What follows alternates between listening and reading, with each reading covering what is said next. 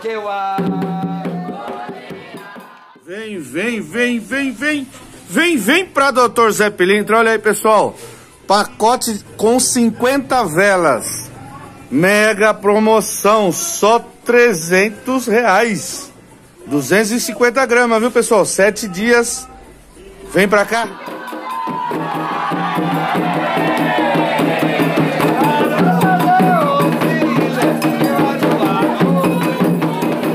Olá, boa noite, meu povo. Aqui quem nos fala é o Babalu de Chacabila, de Oxóssi, da cidade de Barueri, do estado de São Paulo. É, eu, eu acho que entendi o que a pessoa está perguntando. Como que chama a pessoa? Marcelo. Marcelo. Né? Ele, tá, ele pergunta se, o, se a gente só vê o orixá é, do Odu, é isso? É, fala? através de Odus. Através de Odus? Não. Antigamente não se falava nem Odu. Quando eu fiz santo não se falava nem Odu. Os pais de santo, pai de santo que jogava búzios, jogava por queda.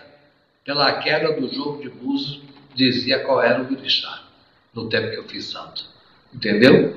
Depois aqui é foram aprimorando, aprimorando, foram aprendendo, né? Mas tem tanta forma de, de ver orixá numa pessoa. Às vezes a pessoa tem um pouco de evidência, olha para a pessoa e o orixá, às vezes no obi, confirma com um obi. Até uma cebola, né, que no meu tempo que eu fiz santo, obi era difícil, até esse obi nacional era difícil.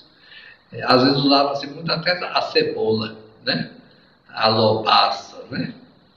E assim, pode se confirmar, né? Com obi, pode se confirmar no jogo de búzio, pode se jogar, pode se confirmar jogando o pelé, uma pessoa velha de santo que tem a experiência de olhar, de conversar com a pessoa, ver as características, ver o jeito da pessoa, a pessoa já sabe de que orixá é, né? Então tem várias formas que se pode ver orixá, e não só com, com os Odus. E orixá não responde só em Odu, não, só em Odu.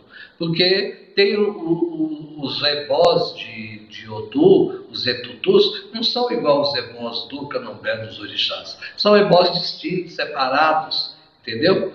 E, então, quer dizer, é, é diferente. Então, tem várias formas de se poder ver.